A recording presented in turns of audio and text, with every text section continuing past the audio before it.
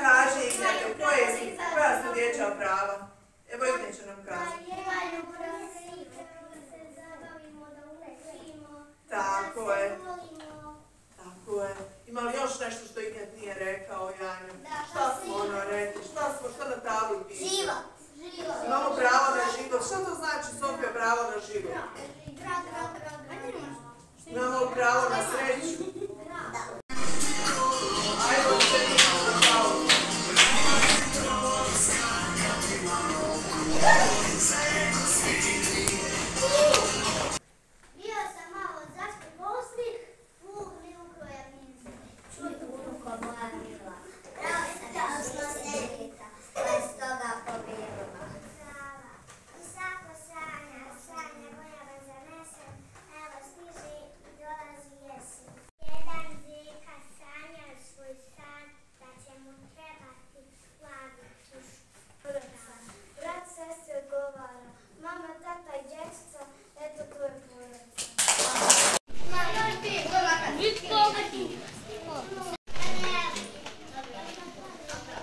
Yeah.